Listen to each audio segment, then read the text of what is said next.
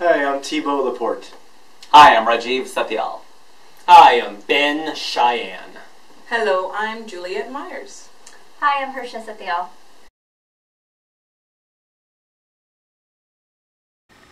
Dating is an enigma. I still have not figured out. I've just figured out that it is indeed an enigma. Dating is cheating because I'm married. So,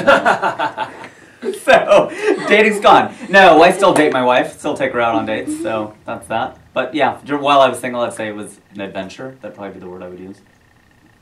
I'm a little more confused after your answer. the whole enigma thing is, I feel like dating is what you make of it, really. Uh, when I when I thought dating was the standard, like you know, meet a girl, invite her to dinner, whatever, it was total misery. I hated that type of dating. And then when I just turned dating into, you know, I'm just it's just go have fun with someone, uh, or try to anyway. That, that that's that's you know that's what I try to make it anyway. I agree with him. Um, it used to be kind of like a structured thing where you go on one date, you meet the person, if they fit this thing and you have like a spark, then you go on a different date. You know, but for me, I, I always do the interview first. You know, I, I really don't want to waste my time and I don't really care. I'll tell them, like, hey, you know, I'm a little bit, I'm not a teenager now and I'm not going to waste your time. You're definitely not going to waste my time. This is what you need to have. This is what I have for you. If you don't have it, peace, block and delete. So, you know, we go, we'll do a Starbucks meetup.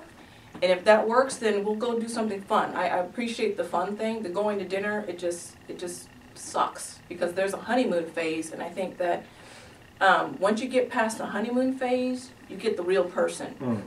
And I think like act, regular activities that create real emotion bring people's real person out. So like something that's going to make you really laugh, something that's going to make you cry, or something that's going to bring out anger. Any of those like real emotions brings out the real person because I really want to see how you are when you're extremely happy, how you are when you're extremely mad, how you would, you know, what, what your religious preferences and stuff are. Are you down to having, you know, relationship, or are you just trying to have fun, which I respect.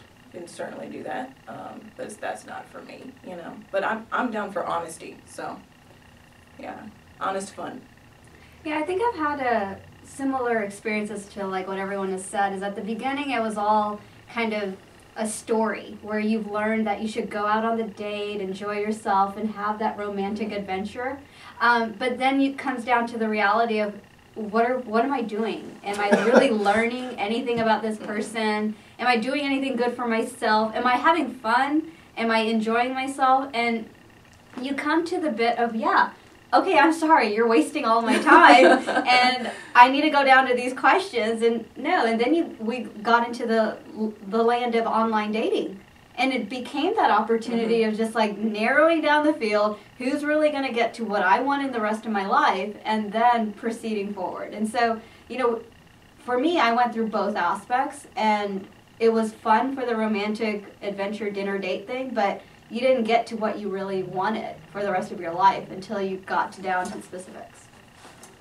Uh, you know, I, I, as an addendum to what I said earlier, that you have to be careful because for a while I was like, well, I'm going to pick an activity that I find, that I enjoy and in, and invite a girl on a date. And and so the problem is, if I go to a movie, oh, I like the movie, or I go to a place I like to eat, I like the meal, and then it would, I'd end up associating them with that experience. Mm-hmm. and so suddenly they're they're elevated. Whereas the the uh, the, uh, the advantage of actually just going to a coffee shop or whatever with them is that you you really just get them. So I almost feel like you should do that once or twice before you try the fun thing because otherwise you're you're getting um, you're not really seeing who they are. You're just enjoying yourself, I mean, and, and they Yeah. happen to be there. Yeah.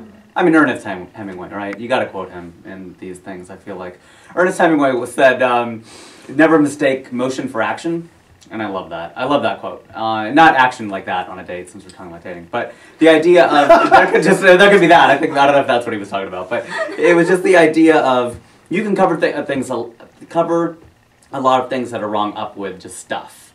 But if you just sit across from each other, then you see what you have. But I do, uh, Ju- Juliette, it? I do agree with you too, which is that do something where emotions are heightened and you can bring something out, but then you also need your downtime and you get to see what the person's really Normally like. everyday.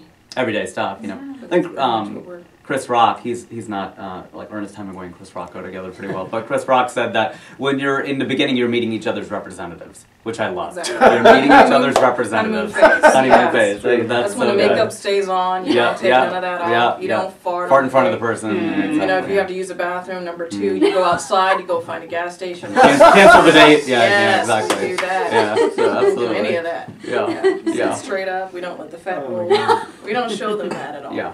That, that takes a while. It's it's it's uh, it's it's very uh, it's daunting just because uh, you know I, one of the things that's amazing in LA is that you get to meet so many other cultures and all that. But there's there's a samurai saying I forget how it goes exactly, but the more you study other people's ways, the more in accord you are with your own.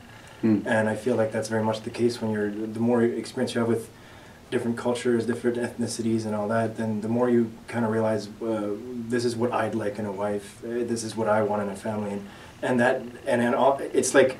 It's, it's really like I feel like Indiana Jones when he like steps into that chasm. It's that leap of faith because it's like it seems like the, the, Mm. the probability you're going to meet that person becomes more and more narrow as you realize what you want and who you are and uh, and it's either like you know you decide not to settle or you just hope that it'll happen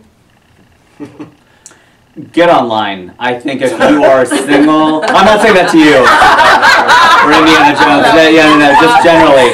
Face value, not, yeah, yeah. I have an Indiana Jones analogy too, but I'll, I'll, I'll skip it and save it for another day. But I would say, no, I'll, I'll give it to you. But, uh, but no, basically get online. I think it's, you know, if you're single and you're happy being single, be single. There's no, I'm not judging that at all. I didn't get married till I was 38, 39.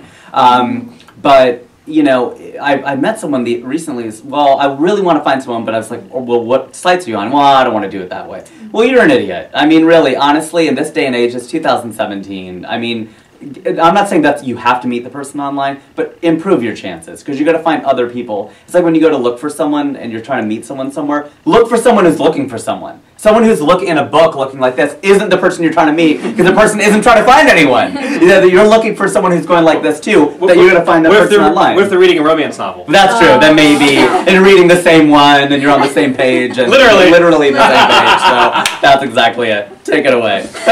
um, let's see. I think that I've been told different things, and um, you know, my one friend said for men it's the right time, for women it's the right man. Hmm. So it's like you just have to hope that both can meet simultaneously. Mm. You know, and um, I think for me personally, like I used to be overweight. I used to have even less hair than I do now. But I actually lost all the weight. I figured out a way to enhance my hair. I'll tell that about you later. And I decided, like, I'm going to make the changes that I want to see in myself, not for anyone else but me. And then once I do that, then I'll at least be at a better place where I like who I am. Mhm. So make the changes that you want to see within yourself before you meet someone. yeah. You'll be ready. I agree with what he was just saying. I also think that um, because of uh, I have like three different jobs. One of them I'm a nurse, and I see um, babies coming in, and and I've been there in somebody's last breath. And life is short. And the lessons I've learned from some of my elder patients is, you know, communication is key, and you really got to learn to just be honest with one another, completely honest. And that's why these talk shows, I think, are, are really getting paid because people are not honest. They're coming and being honest on the show. So if you're honest and you communicate and you have fun and you love yourself, I think it actually will be a fun, fun experience. And definitely meet people who are looking for the same thing you're looking for. Following along those lines, I think at the end of the day, trust your gut. No matter what date you go on, no matter what experience you go through, your gut is going to tell you whether it's right or not, and just follow that instinct.